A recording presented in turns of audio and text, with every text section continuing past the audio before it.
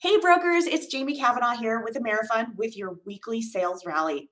So, this week, I'd like to talk about how to navigate through our current market and continue winning for yourself and for your customers. The media likes to report that these rising rates are the end of all refinances, and I don't entirely believe that that is true.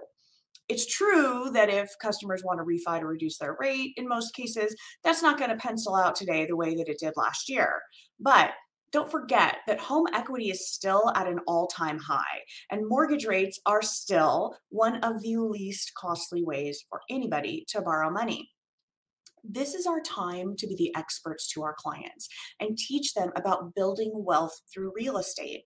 Leveraging the equity in their home today and using that cash to invest in more real estate is one of the best ways to create a retirement plan for themselves. Some clients are opting to purchase properties in other states because the price points are a bit lower. And so what they're doing is seeing immediate positive cash flow shortly after purchasing the investment properties by virtue of the monthly rents that they're collecting. And don't forget that debt consolidation refinances are still a huge benefit to many of your customers. Some customers have high interest credit cards or short term installment loans. Paying off those loans improves their monthly cash flow.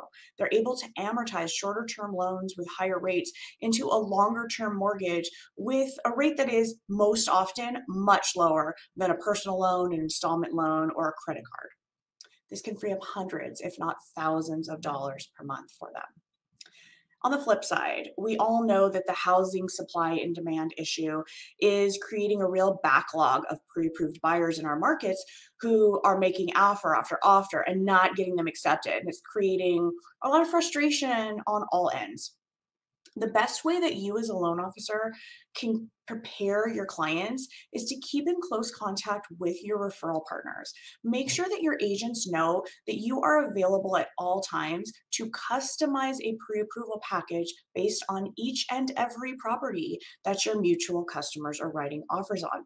The days of the generic pre approval letters are over get your client's permission to send a full pre approval package to their agent, which includes their credit score summary, their proof of their funds, a customized pre approval letter with all of the property characteristics based on the specific property that they're writing an offer on.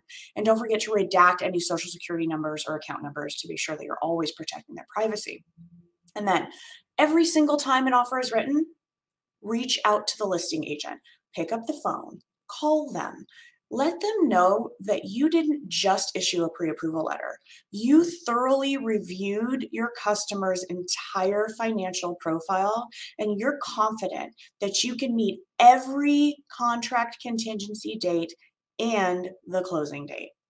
Almost every day, one of our loan officers tells me that a listing agent thanked them for calling them and said that out of 20, 30, and sometimes even 40 purchase offers, our loan officer was the only one that picked up the phone to call and reaffirm the pre approval letter that they had issued.